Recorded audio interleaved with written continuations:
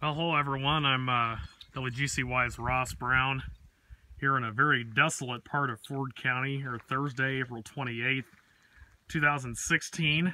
We're on Abandoned Bridge out here in Ford County, right on the county line. And you can see it's a pretty desolate area around here. Um, many of you have heard the story of the dog named Bear, the Labrador mix that was found uh, near Sibley. And this is the area it was found in. Uh, dog uh, is at the U of I vet clinic right now being treated. Uh, has a broken jaw, uh, severely injured.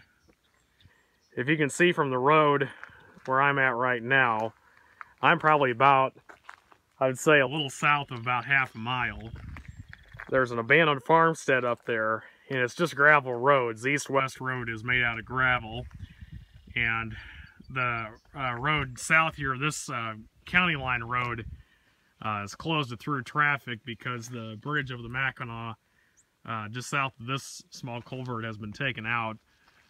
Um, there's an access road to a farm field there. We can see my trucks parked, and um, you know this is a very quiet area. There's not much out here, and no traffic.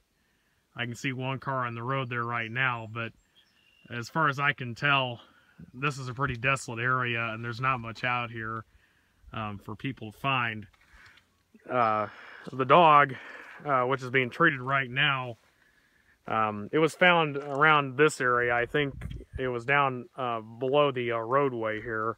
You see someone's left a blanket there. I'm not sure what, if that have it had a blanket over it or not. I'm not quite sure, but um, anyway, this dog sat in this ditch for they believe might have been two days or more.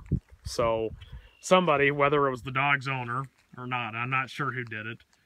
Um, they don't know at this point, but drove down here, left the dog down here um, in the cold, probably in weather like this, just dreary conditions all day and all night for two days.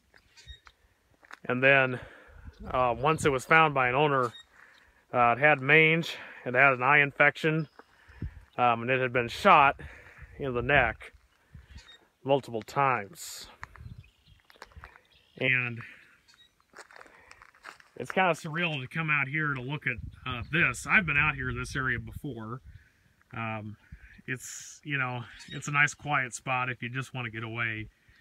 Um, and, you know, honestly, if you're uh, want to think about killing something or somebody, this would be the great place to hide the body um, because no one would notice that out here.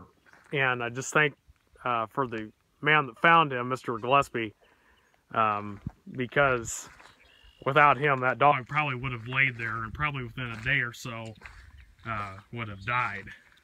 So it's a it's a sad story, and I hope that at some point they can figure out who did it.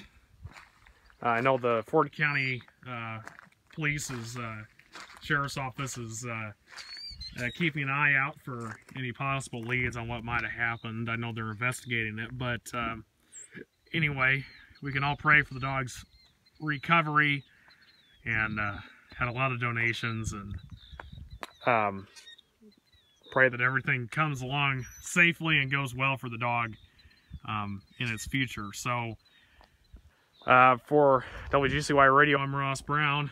Hope you enjoyed it.